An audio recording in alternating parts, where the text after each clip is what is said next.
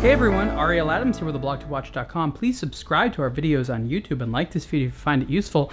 Uh, I'm very proud to bring you this review of the Arnold & Son UTTE watch. This is a very special timepiece, very beautiful, very limited and new for 2013. So what are we looking at? First of all, UTTE stands for ultra thin tourbillon escapement and this is actually the thinnest tourbillon uh, watch in the world. Um, it's manually wound, and it, you know it just beats Piaget just by a little bit. Piaget um, has, in a lot of ways, made names for themselves by creating um, very thin movements, um, and they do a fantastic job. Uh, but for this year, uh, Arnold and Son beat them just a tiny little bit by making the UTTE um, the thinnest, uh, you know, mechanical tourbillon uh, all, all tourbillons are mechanical. The thinnest manually wound tourbillon in the world. Um, Piaget still holds that record for different other other types of tourbillon, namely an automatic one. But you know what?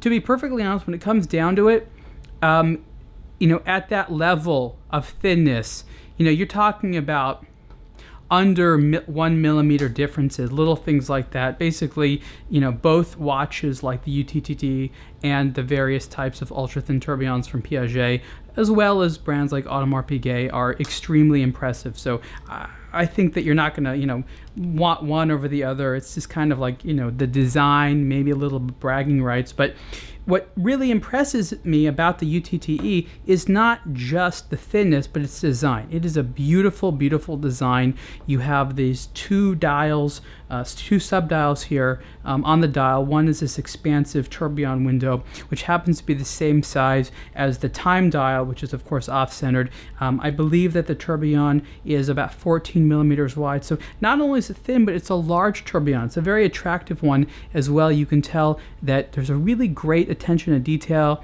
You can see right through um, the entire movement there. The movement here is the Arnold and Son A and S 8200. It has about 80 hours of power reserve. So even though it is manually wound, you have a couple of days of power reserve there. And I want you to notice uh, carefully, I'm trying to see if I can zoom in here. It's a little bit difficult.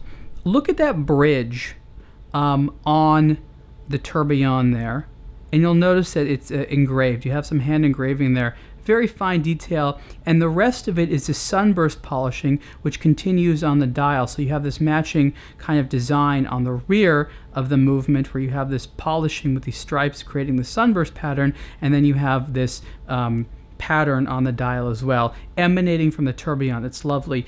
One thing I found interesting is that despite the size of the dial, it's extremely legible. So while wearing the watch, I have no problem whatsoever uh, reading the time um, and being able to see it.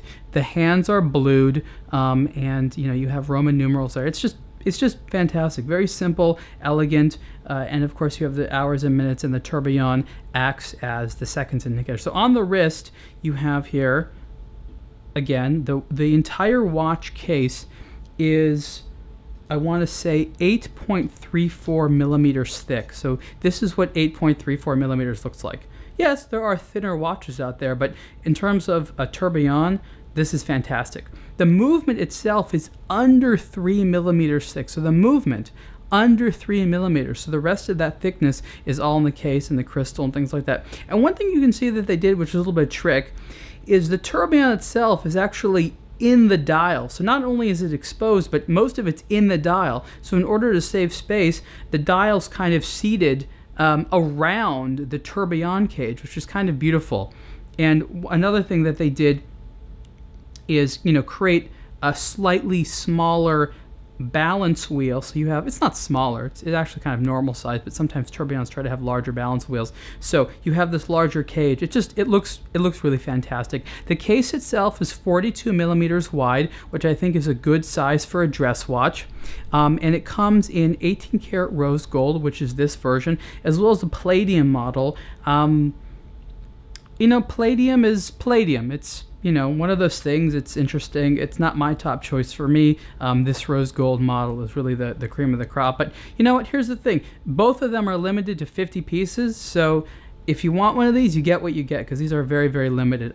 I love this nice, beautiful uh, alligator strap here. It feels really, really nice. It's soft. And I like that the, the lugs are widely spaced so that it has kind of a nice, substantial look on here. I think this is about a, a 22 millimeter strap probably.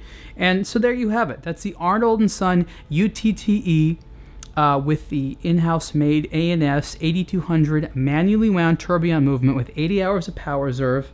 Uh, it is the world's thinnest tourbillon watch, and you know we'll see how long they're able to claim that record. I think it's gorgeous. It's just a beautiful, beautiful watch. Arnold and Son has been damn impressive lately. They've been creating some great things. They are definitely a brand to look at right now, or at the very least watch. Um, again, this is a limited edition of 50 pieces. Price for the the uh, the Palladium version, I think it's Palladium. I'm pretty sure it's Palladium. Um, is $61,150. And for this version in 18 karat rose gold, the price is $71,500. And you can see the full review soon on a blog to watch. Thanks.